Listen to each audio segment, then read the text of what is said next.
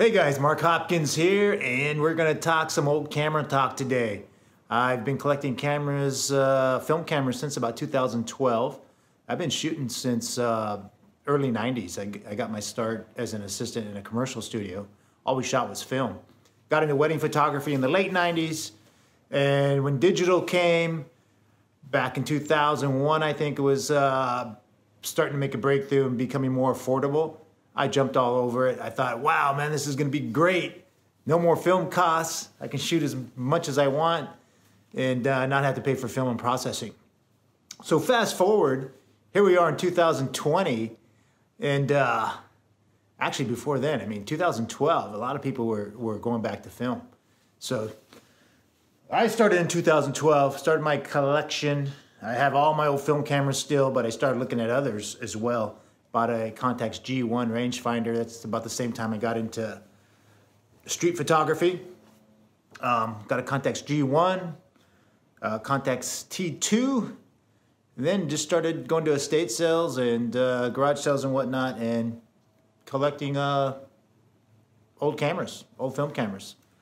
So the one I'm going to talk about today, though, is the Yashica Electro 35 GSN. That's what I want to talk about today. Here's the, here's the background on this camera, guys. I, this, this was my very first camera back in 1982, 1983, or 81 even. I started using this camera here. A neighbor gave it to me, and this is what I was using back then. And uh, it was stolen probably in the early 80s sometime, 85, somewhere around there. And uh, just picked this one up for sentimental reasons. Um, thought it would be cool to, to get the very same camera that I started with. And uh, picked it up uh, a couple days ago for like 25 bucks, actually 30 bucks. So back then, I used to think this was an amateur camera because the lens didn't come off. Everybody in my photo class had cool cameras where they had interchangeable lenses, and I was like, man, mine's junk. The uh, lens doesn't even come off. and I remember my uh, college instructor, this is the first year of college, I took my first photo class. Um, he was talking about his Leica all the time. I didn't know what the hell a Leica was, but he, he, he talked to, told us a little bit about it but I didn't, I didn't really care because it was a rangefinder. It didn't look legit. It didn't look like a pro camera, not like a SLR. So I had no interest in rangefinders back then. This camera got stolen. I didn't really care. Um, then back in like 2012-ish, I got into street photography, started uh, reading up and watching a lot of videos on street photography and discovered that the rangefinder is such a cool camera because it's so quiet. And what's going on with this? Oh, it's a lock. It's got a lock on it. Can you hear that, guys? Put it a little closer. So if you're discreet and you're all being cool, you can barely hear it. I also discovered that this lens is a pretty damn good lens. A lot of people love this lens. It's sharp. And I was looking at, at, I was looking at some old photos that I have. I still have my negatives and photos from this camera back in the early 80s. And the photos were sharp. Even my instructor back then goes, "Man, it's a it's a sharp sharp lens you got there." I was like, "Yeah, but it's junk. It doesn't the lenses don't come off." it's no good. anyway, uh, pretty happy that I was able to pick one of these up for like 30 bucks because they're they're going for like at least 50 on eBay, then uh, you got to add in like $20 shipping, $70, and they're not, even, not even as clean as, as this one. This one's pretty damn clean. I haven't tested it out yet. Uh, I hope it works. The shutter speed seemed to work.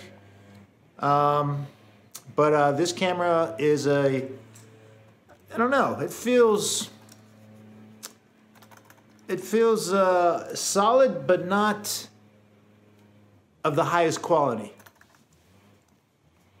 as compared to my Olympus. I picked this up at a garage sale as well for like 40 bucks with three different lenses. It was a deal. And uh, I've been shooting this a lot. And this is a great little camera. Anyway, guys, uh, I'm rambling on now. Enough of that. Hope you enjoyed this quick little video on the Yashica. I guess Spider-Man made this camera popular, so first we had Kylie Jenner and the Contax T2, which I bought in 2012 for 250 bucks. Now they're going for like what six, seven hundred bucks. Um, now Spider-Man has uh, inflated the price on these babies here. Good little camera though.